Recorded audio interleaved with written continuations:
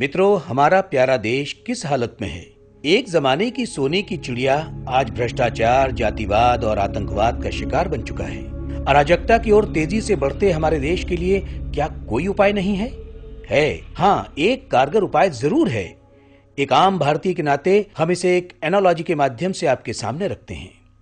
समझ लीजिए, हमारी अर्थव्यवस्था एक बहुमंजिली इमारत है।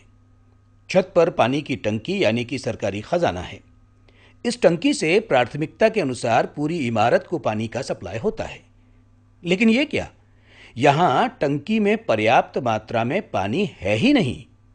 ऐसा क्यों? नीचे वाली हौद में तो पानी है। पानी उठाने वाले पंप भी चल रहे हैं।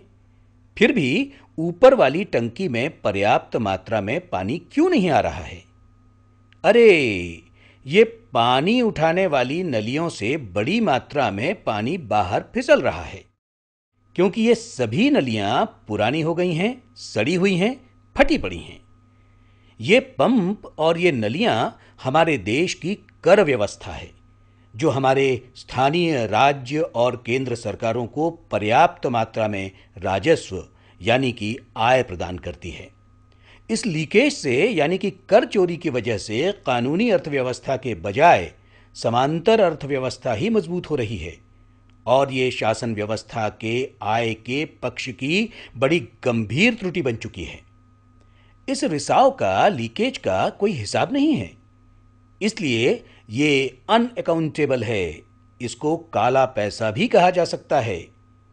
दूसरी तरफ़, टंकी में जितना भी पानी है वो सभी मंजिलों को पूरी तरह पहुँच ही नहीं रहा है।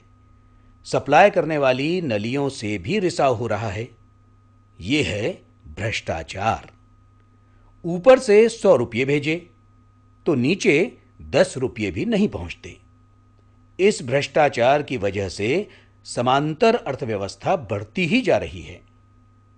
इस पर शासन क्या कर रहा है?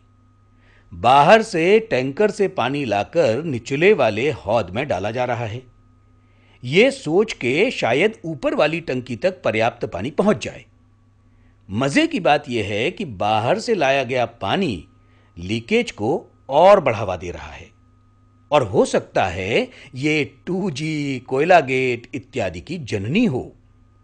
अब देखिए समांतर अर्थव्यवस्था किस तरह से भूमिगत अर्थव्यवस्था में बदलकर भ्रष्ट राजनीति, प्रशासन और उद्योग जगत को बढ़ावा दे रही है। दुर्भाग्य से मेरे प्यारे देश का 60-70 प्रतिशत आम आदमी पानी के लिए इस भूमिगत अर्थव्यवस्था के आखिरी छोर पर खड़ा है, जिसे ऊपर वाली टंकी से कानूनी अर्थव्यवस्था से पानी मिल ही नहीं रहा। आगे मामला और भी संगीन है।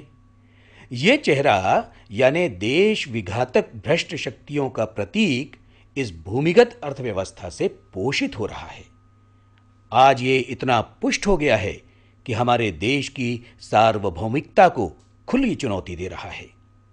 दूसरी तरफ़, यही भूमिगत अर्थव्यवस्था हमारे देश की चुनाव प्रक्रिया भी चला रही है, जिसकी वजह से हमारी राजनीति नेक, ईमानदार और लायक हाथों से निकलकर भ्रष्ट और अपराधी हाथों में चली गई है।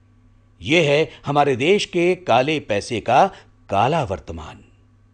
क्या यह स्थिति बदल सकती है? हाँ, ये बदल सकती है। पूरी तरह से बदल सकती है और संविधान के दायरे में ही इसका समाधान भी हो सकता है। सिर्फ़ दोनों तरफ़ का रिसाव रोककर हम पूरी समांतर अर्थव्यवस्था को ध्वस्त कर सकते हैं। परिणामतः भ्रष्टाचार, आतंकवाद और जातिवाद जैसी मूलभूत समस्याओं का पूरी तरह से निराकरण हो सकता है। क्या हो सकती है ऐसी जादू की छड़ी जो हर रिसाव को रोक सकती है?